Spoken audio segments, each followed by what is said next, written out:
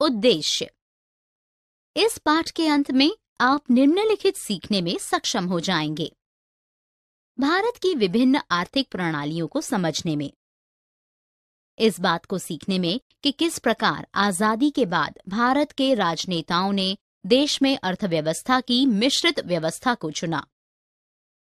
इस बात को समझने में कि किस प्रकार भारत की स्थितियों के अनुसार पंचवर्षीय योजनाओं के दौरान कार्य की प्राथमिकताओं को एक दूसरे से पृथक किया गया। इस बात को समझने में कि किस प्रकार चतुर्थ पंचवर्षीय योजना के दौरान कृषि में हरित क्रांति की अवधारणा को साकार रूप दिया गया। इस बात को समझने में कि किस प्रकार हरित माध्यम द्वारा फ़सलों के पैदावार को बढ़ाकर आत्मनिर्भरता प्राप्त की गई।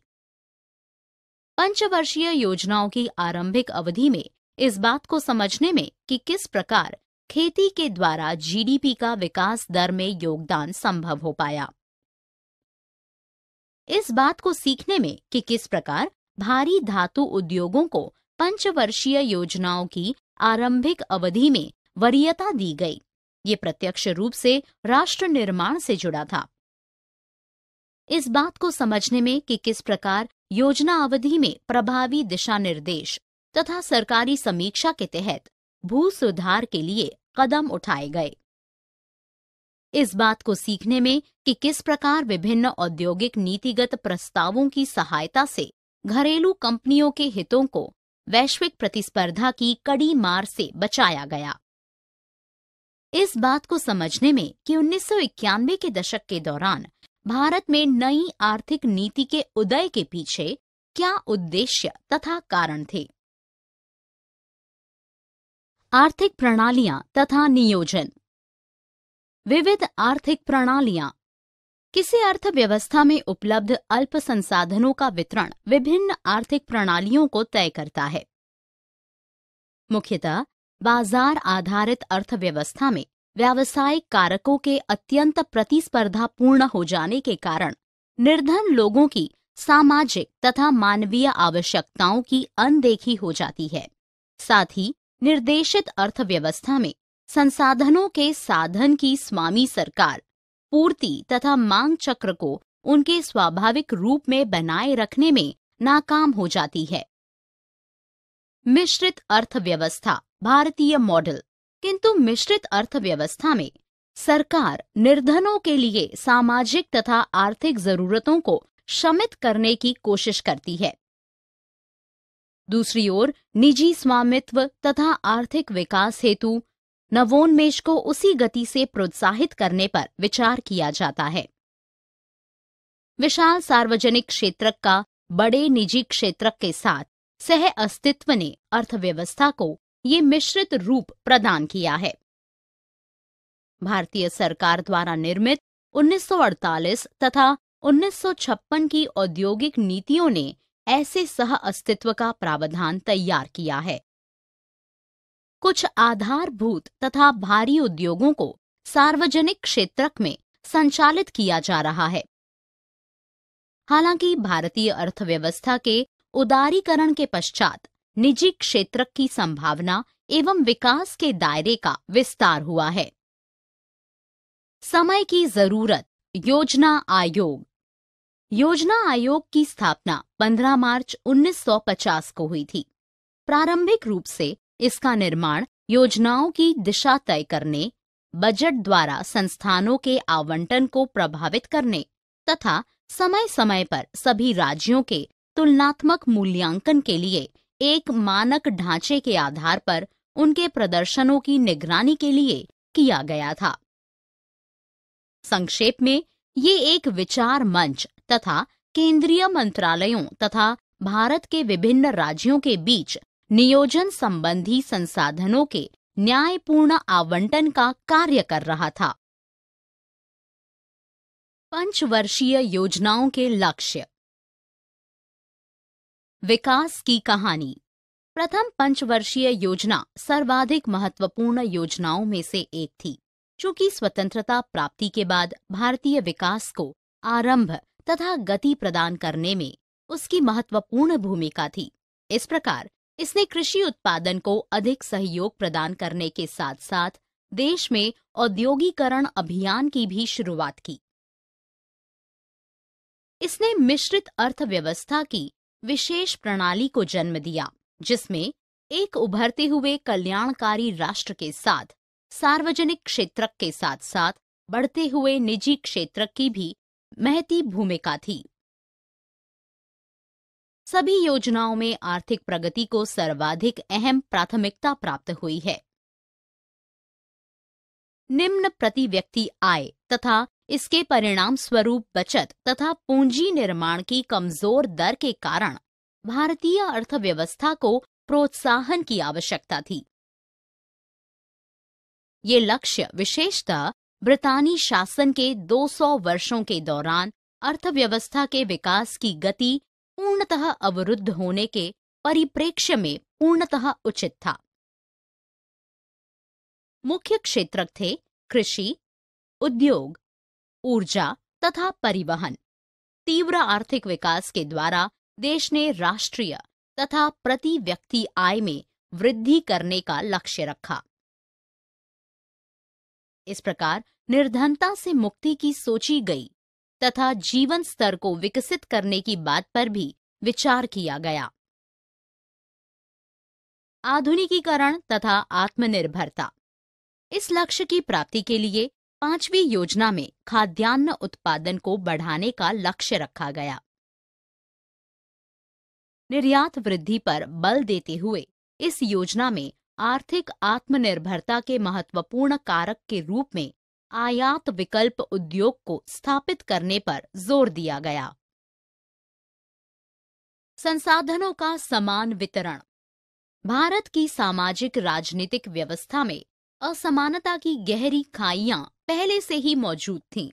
इस प्रकार भारतीय योजनाओं में इन असमानताओं को कम करने का लक्ष्य रखा गया, ताकि आर्थिक विकास का लाभ गरीबों तक पहुँच सके। पहली बार उसी योजना में गरीबी उन्मूलन के उद्देश्य को स्पष्ट उद्गार मिला। कृषि क्षेत्र में विकास। कृषि क्षेत्र में विकास की संभावनाएँ प्रथम पंचवर्षीय योजना का मुख्य उद्देश्य औपनिवेशिक शासन से मुक्त देश में व्याप्त असंतुलन को दूर करना था। इस संदर्भ में पूर्व की कुछ योजनाओं में सिंचाई तथा कई नदियों पर बाँध निर्माण जैसी कुछ दीर्घकालिक योजनाओं को लिया गया। प्रथम योजना में 1960 करोड़ रुपए की आंकलित राशि का निवेश किया गया, जिसमें से 630 करोड़ अर्थात लगभग 31 प्रतिशत का आवंटन कृषि के लिए किया गया। चौथी पंचवर्षीय योजना के दौरान, अगले दशक के दौरान पाँच प्रतिशत की धारणीय वृद्धि हेतु आवश्यक दशा के निर्माण के लिए दो मुख्य लक्ष्य तय किए गए। ग्रामीण आबादी के यथासंभव भाग को विकास की मुख्य धारा से जोड़ना तथा इसके लाभ का समान वितरण सुनिश्चित करना। भूमि सुधार। कृषि आधारित रैयतों की आर्थिक स्थिति में सुधार करने के लिए उपायों के सर्वाधिक महत्वपूर्ण पैकेज को भूमि सुधार कार्यक्रम में सम्मिलित किया गया। इसमें खेतीहर वर्ग के हित को ध्यान में रखते हुए भू स्वामित्व के पुनः वितरण माल गुजारी को नियंत्रित कर इसे युक्ति सम्मत बनाने, जोत के आकार में सुधार करने, परंपरागत कृषि में हस्तांतरण के लिए काश्तकारी की अवधि संबंधी सुरक्षा प्रदान करने तथा किसानों को विकास की नई ऊंचाइयों पर ले जाने की बात शामिल की गई। भूमि सीमा संबंधी उपाय। प्राथमिक रूप से खेती की ज़मीन के स्वामित्व पर सीमा आरोपित करने का लक्ष्य भूमिहीनों की भूमि संबंधी जरूरतों की पूर्ति करना। द्वितीय भू स्वामित्व के मामले में स्पष्ट असमानताओं को कम करना, ताकि ये सरकारी ग्रामीण आर्थिक व्यवस्था के विकास में भूमिका निभा सके। तथा तृतीय उपकाष्टकारी तथा रैयत के रूप में खेती से भिन्न, स्वयं की स्वामित्व की भूमि स्वरोजगार में वृद्धि करना था। भारत में हरित क्रांति। हरित क्रांति का क्या अर्थ है? 1965 के बाद अधिक पैदावार देने वाले बीजों का इस्तेमाल तथा अधिक मात्रा में उर्वरकों एवं सिंचाई का प्रयोग सामूहिक रूप से हरित क्रांति के रूप में जाना जाता है, जिससे खाद्यान्न उत्पादन में भारत को आत्मनिर्भर बनाने तथा समग्र रूप से कृषि व्यवस्था में सुधार करने में योगदान दिया। कभी भारत में अनिवार्य माने जाने वाले अकाल तथा सूखे, हरित क्रांति की फ़सलों के आरंभ के बाद कभी नहीं लौटे। ये शब्द भारत की दशा के उपयुक्त नहीं प्रतीत होता। किंतु समय समय पर यह देश में सर्वाधिक सफल रहा है। खाद्यान्नों में अतिरिक्त विपणन सुनिश्चित करना। हम जानते हैं कि खेती की ज़मीन में सतत विस्तार के साथ हरित क्रांति जारी रही। उसी प्रकार दो फ़सलें लगाना इस व्यवस्था की मुख्य विशेषता रही थी। वृहद स्तर पर सिंचाई की सहायता से बड़े तथा छोटे जोत वाले खेतों में दो फ़सल चक्र ले पाना संभव हो पाया। बड़ी मात्रा में मॉनसून के प्राकृतिक जल को रोक रखने के लिए बाँध बनाए गए, जो पहले बर्बाद हो जाते थे। सिंचाई की सरल तकनीकें अपनाई गईं। इससे थोड़ी ही अवधि में विपणन योग्य तथा विपणन किए गए खाद्यान्न की अतिरिक्त मात्रा उपलब्ध हो गई। कृषि उत्पाद की ये मात्रा जिसे किसानों के द्वारा बाज़ार में बेचा जाता है, अतिरिक्त विपणन उत्पाद कहा जाता है। बाज़ार में फ़सल की अच्छी खासी मात्रा बेचने के परिणाम स्वरूप खपत की अन्य वस्तुओं की तुलना में खाद्यान्न के दाम अपेक्षाकृत कम हो गए। भारत में हरित क्रांति में प्रौद्योगिकी का हस्तक्षेप। ये बात स्पष्ट है कि नई कृषि प्रौद्योगिकी संबंधी शोध एवं विकास ने हरित क्रांति को सहारा दिया। जैव प्रौद्योगिकी के आधुनिक साधनों के उदय के साथ ही कृषि में जलवायु परिवर्तन तथा अन्य ऐसी चुनौतियों से निपटना संभव हो पाया है, जो परंपरागत विधि में नहीं किया जा सकता था।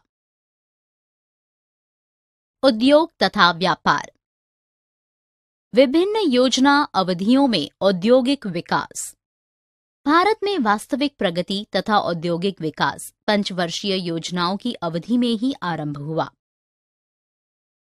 प्रथम पंचवर्षीय योजना एफ़ वाई पी उन्नीस सौ इक्यावन से 1956 के दौरान तत्कालीन उद्योगों तथा सूती वस्त्र उद्योग, चीनी उद्योग, कागज़ उद्योग, सीमेंट उद्योग इत्यादि को महत्व दिया गया। द्वितीय पंचवर्षीय योजना 1956 से 1961 के दौरान प्राथमिकता भारी धातु उद्योगों तथा उर्वरक उत्पादन इकाइयों को दी गई। तृतीय पंचवर्षीय योजना 1961 से 1966 के दौरान महत्व भारी धातु, अभियांत्रिकी, जीवाश्म ईंधन, उर्वरकों, यांत्रिक औजारों तथा अन्य चीज़ों को प्रदान किया गया। चतुर्थ पंचवर्षीय योजना अवधि 1970 से 1975 में कृषि आधारित उद्योगों, रासायनिक उद्योगों, विशेष प्रकार के मिश्र धातु इस्पात, अन्य मशीनी औजारों तथा ऑटोमोबाइल क्षेत्र को प्राथमिकता दी गई। पांचवी पंचवर्षीय योजना अवधि 1975 से 1980 में इस्पात उद्योगों रसायन तथा औषधि निर्माण पर बल दिया गया। छठी तथा सातवीं पंचवर्षीय योजना अवधि 1980 से 1990 में रेल के डिब्बों, ऑटोमोबाइल, बिजली के उपकरण, सीमेंट एवं रसायन को प्राथमिकता प्रदान की गई। प्रशिक्षण के लिए उपयुक्त सहायता सुविधाओं की स्थापना की गई। सेवा क्षेत्रक, बैंकिंग तथा बीमा ये महसूस करना ज़रूरी है कि औद्योगिक तथा कृषि क्षेत्रकों में, विद्यमान अड़चनों तथा सेवा क्षेत्रक में, भारत की सहज खूबियों के कारण अर्थव्यवस्था की प्रगति में सेवा क्षेत्र का विशेष योगदान रहा। जहाँ अन्य दो क्षेत्रकों में विद्यमान अड़चनों को दूर किया जाना आवश्यक है, तथा इस दिशा में प्रयास भी जारी हैं। लेकिन खरगोश के सो जाने तथा कछुए के जीतने की उम्मीद नहीं की जानी चाहिए। सार्वजनिक तथा निजी क्षेत्रकों के योगदान। औद्योगिक नीति प्रस्ताव आईपीआर 1956 की आईपीआर नीति लंबे समय तक आधारभूत आर्थिक नीति का अंग रही। इसने तीन वर्ग स्थापित किए, जिसमें राज्य के प्रति विशेष रूप से उत्तरदायी उद्योग भविष्य के निजी उपक्रम वाले तरक्की पसंद राज्याधीन उद्योग तथा इस क्षेत्र में भावी विकास की आकांक्षा शामिल है। व्यापार नीति तथा आयात प्रतिस्थापन औद्योगिकरण। आयात प्रतिस्थापन औद्योगिकरण क्या है? आयात प्रतिस्थापन औद्योगिकरण का सामान्य आशय ऐसी नीति से होता है जो वस्तुओं के आयात की आवश्यकता को समाप्त कर घरेलू बाज़ार में उत्पादन को बढ़ावा देती है। इस नीति का उद्देश्य अर्थव्यवस्था में संरचनात्मक सुधारों को अंजाम देना होता है। आयात प्रतिस्थापन नीति को साकार रूप देने के लिए पूंजीगत वस्तुओं को उपभोक्ता वस्तुओं से सीमा शुल्क, कोटा, विनिमय नियंत्रण संबंधी बाधाओं विनिमय दर संबंधी नीतियों तथा आर्थिक एवं ऋण या उधार संबंधी नीतियों की सहायता से अलग करना आवश्यक होता है। उदाहरण के लिए, भारत में कच्चे तेल तथा नेफ्था पर सीमा शुल्क नगण्य है, जबकि अधिकांश कृत्रिम रेशों पर 300 प्रतिशत तक सीमा शुल्क है। इन उत्पादों के उत्पादन में प्रयुक्त आधारभूत मध्यवर्ती वस्तुओं पर 100 से 200 प्रतिशत सीमा शुल्क लगाया गया है। इसके अलावा कृत्रिम रेशों के आयात पर पूरी तरह पाबंदी लगा दी गई है। अब तक पेट्रो रासायनिक मध्यवर्ती वस्तुओं के आयात पर रोक थी, तथापि भारत की हालिया नीतियों के अंतर्गत कुछ मामलों में इन प्रतिबंधों में कुछ छूट दी गई है। भारत में लाइसेंस राज इसका संबंध 1947 से 1990 के बीच की अवधि से है। तब अर्थव्यवस्था का नियोजन केंद्रीय स्तर पर ही होता था। स्पष्ट रूप से, किसी भी चीज़ का उत्पादन करने के लिए लाइसेंस प्राप्ति हेतु तब 80 एजेंसियों से स्वीकृति की आवश्यकता होती थी। इस अवधि में विनियमन की कड़ी व्यवस्था थी तथा उत्पादन और इसके विभिन्न रूपों पर सरकारी नियंत्रण होता था। उन्नीस सौ इक्यानवे में नई आर्थिक नीति का उदय। नई आर्थिक नीति का ज़ोर अर्थव्यवस्था में अधिक प्रतिस्पर्धा पूर्ण वातावरण का निर्माण करने पर था, जिससे उत्पादकता बढ़ाई जा सके तथा पूरी प्रणाली को अधिक प्रभावी बनाया जा सके। ऐसा कंपनियों के प्रवेश पर प्रतिबंधों को हटाकर तथा कंपनियों के विकास की राह में आने वाली बाधाओं को दूर कर किया जा सकता था। सारांश। हमने जो कुछ सीखा है, उसे संक्षेप में दोहराएँ। विभिन्न आर्थिक प्रणालियों के बीच से भारत ने मिश्रित अर्थव्यवस्था को चुना है, जहाँ सार्वजनिक तथा निजी क्षेत्र के उपक्रम एक साथ वर्गीकृत किए गए। पंचवर्षीय योजना अवधि के दौरान हमने दो प्रकार का नियोजन देखा। आधारभूत नियोजन तथा दीर्घावधि परिप्रेक्ष्य से बनी योजना। बीजों की अधिक पैदावार देने वाली किस्मों के माध्यम से देश में कृषि के क्षेत्र में हरित क्रांति की शुरुआत हुई। हरित क्रांति की सहायता से देश को खाद्यान्न उत्पादन के क्षेत्र में आत्मनिर्भरता प्राप्त हुई। भारी धातु उद्योग, खनन में सहायक अभियांत्रिकी उद्योग तथा रासायनिक उत्पादों ने योजना अवधि में देश के औद्योगिक क्षेत्र के परिदृश्य को बदल कर रख दिया। भू सुधारों तथा जोत की सीमाएँ तय कर सरकार ने छोटे जोत वाले किसानों तथा भूमिहीन कृषि श्रमिकों की दशा में सुधार करने के लिए आवश्यक कदम उठाए।